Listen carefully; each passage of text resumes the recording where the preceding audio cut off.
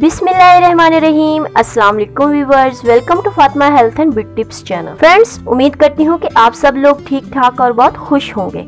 अच्छा जी, आज मैं जो चीज़ आप लोगों के साथ शेयर करने वाली हूँ, वो बहुत ज़्यादा इफ़ेक्टिव भी है और इजी भी। इसके सब इंग्रेडिएंट्स आपको अपने घर ही से मिल जाने हैं और इससे भी ज़्यादा अच्छी बात ये है कि इसको तमाम स्किन टाइप्स के लोग इजिली इस्तेमाल कर सकते हैं। मीन्स के आपकी स्किन नॉर्मल है ड्राई है या फिर कॉम्बिनेशन या ऑयली है। तमाम स्किन टाइप्स के लोग इसे आराम से यूज़ कर सकते हैं। ये रेमेडी आपकी स्किन पर काम क्या करेगी? ये आपकी स्किन को ग्लोइंग स्पॉटलेस बनाएगी फेयर करेगी और स्मूथ बनाएगी। तो चलिए, जल्दी से रेमेडी को बनाना शुरू करते हैं। सबसे पहले हमें चाहिए आधा केला। केले में स्किन को नमी फ्राहम करने की सलाहियत पाई जाती है, क्योंकि इसमें पोटेशियम विटामिन ई और सी पाए जाते हैं, जो स्किन को क्लीन और ग्लोइंग बनाने में हेल्प करते हैं। दूसरी चीज़ जो हम लेंगे वो है राइस फ्लोर यानी चावल का आटा। ये हम लेंगे एक चम्मच। चावल का आटा अगर आप रेगुलरली अपनी स्किन पर अप्लाई करते हैं तो ये आपकी स्किन को बहुत ही ज़्यादा खूबसूरत बनाने में हेल्प करता है। कोरियन चाइनीज़ जापानीज लोगों की स्किन इतनी फ्रेश होती है। इनकी एज भी बहुत कम नज़र आती है, क्योंकि ये लोग ज़्यादा मछली खाते हैं। चावलों का इस्तेमाल बहुत ज़्यादा करते हैं अपनी ब्यूटी को इनहेंस करने के लिए, क्योंकि चावलों में एंटी एजिंग और एंटी इन्फॉर्मेटिव प्रॉपर्टीज़ पाई जाती हैं, जो कि स्किन को ग्लोइंग फेयर और जवान रखने में मदद करती और तीसरी चीज़ जो हम शामिल करेंगे, वो है रॉ मिल्क यानी कच्चा दूध। ये हम लेंगे एक चम्मच। दूध में विटामिन ए पाया जाता है। ये स्किन के लिए बेहतरीन क्लिनजर है। दूध ड्राई और नॉर्मल स्किन के लिए बहुत अच्छा है। इसमें लैक्टिक एसिड होता है, ये स्किन को बहुत ग्लोइंग और फेयर बनाता है। इसमें हम जो लास्ट चीज़ शामिल करेंगे, वो है लेमन जूस लेमन में कुदरती तौर पर ब्लीचिंग प्रॉपर्टीज़ पाई जाती हैं। ये आपकी स्किन को लाइटन और ब्राइटन करने में हेल्प करता है। ये हम लेंगे फ्यू ड्रॉप इन सभी चीज़ों को हम अच्छे तरीके ऐसी मिक्स कर लेंगे, यहाँ तक के ये हमारा एक क्रीमी सा पेस्ट तैयार हो जाए।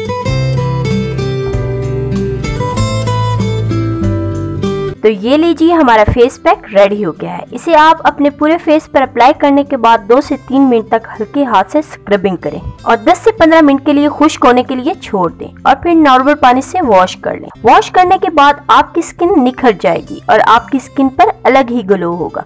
इस रेमडी की कोई साइड इफ़ेक्ट नहीं, ये 100% नेचुरल रेमडी है। उम्मीद करती हूँ कि आज की वीडियो आप लोगों को बहुत ज़्यादा पसंद आई होगी। अगर वीडियो पसंद आई हो तो लाइक कर दे, मेरे चैनल को सब्सक्राइब कर दे तो मिलते हैं नई वीडियो के साथ। तब तक के लिए अल्लाह हाफिज।